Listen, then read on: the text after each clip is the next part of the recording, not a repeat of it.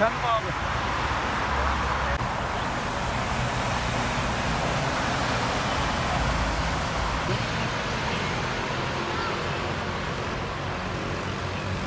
Kahramanmaraş'la ilgili depremlerden sonra eksikliklerimiz var.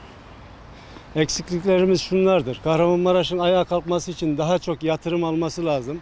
Spor salonları, böyle gençler için kültürel aktiviteli yerler lazım yapılması lazım. Kahramanmaraş'ta iyi bir fırsat var şu anda. Ee, park ve bahçelerin daha yeniden imara girmesi lazım. Çevre düzenlemelerinin ondan sonra ee, Kahramanmaraş'la ilgili işte spor komplekslerinin yapılması lazım. Hastanelerin, altyapının, dükkanların, esnafları işte e, aha gördüğün gibi hep prefabrikte böyle e, perperişan halde yağmurun altında iş yapıyorlar efendim. Bunların da bir an önce yerlerine geçmeleri lazım. devlet büyüklerimizden, Sayın Cumhurbaşkanımızdan, reisimize teşekkürler.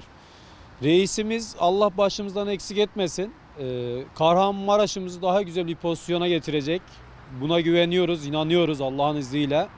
Gördüğünüz gibi arka tarafımızda şehrimiz yükseliyor, binalar yükseliyor. Eskisinden daha güzel projeler, yolları daha güzel.